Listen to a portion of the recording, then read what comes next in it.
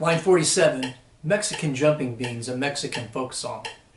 This one is in 3-4 time and rhythmically is a little more interesting with all the eighth notes. Of particular note is the very last pair of measures where we see for the first time a, uh, a technique called divisi. A divisi is when you want to have two different parts being heard. So you either play the top notes or you play the bottom notes.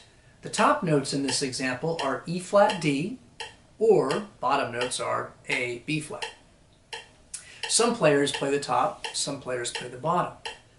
The question you might have is, well, how do I know which ones to play? Well, your director will usually give you instructions on that. Typically, we like to see equal numbers on both. Sometimes your director will give you very specific instructions. All right, so first we're going to start off by counting this line. And remember, we're in 3-4 time. One, two, ready, count.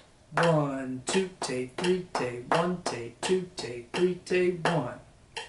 Three, one. One, two, take, three, take, one, take, two, take, three, take, one. Three, one.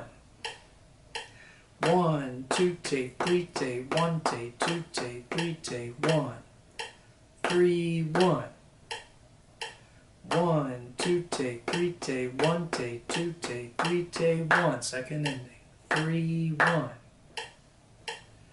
When we name the notes, let's go ahead and name the top notes when we get to the divisi. One, two, ready, go.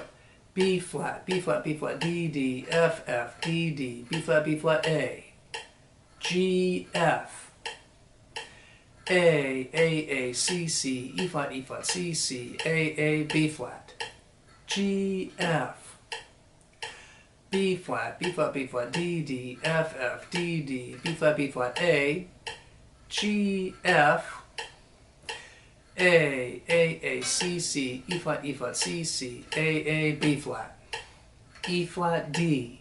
All right, I'm going to play it, and I'll play the top notes. Why don't you go ahead and follow? Ready? And one, two, ready.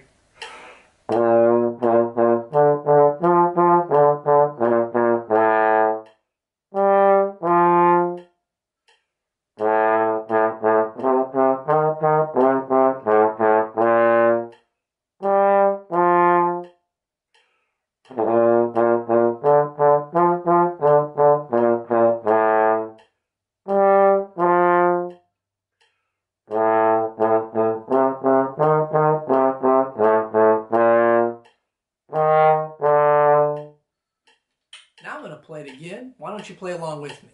Let's play the bottom notes at the divisi. So that'll be A, B flat.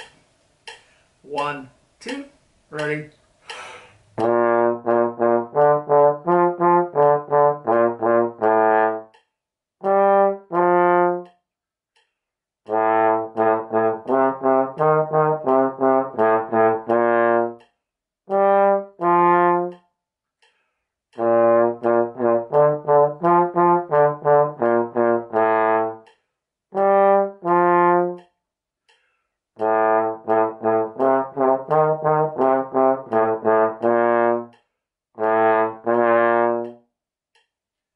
That's line 47.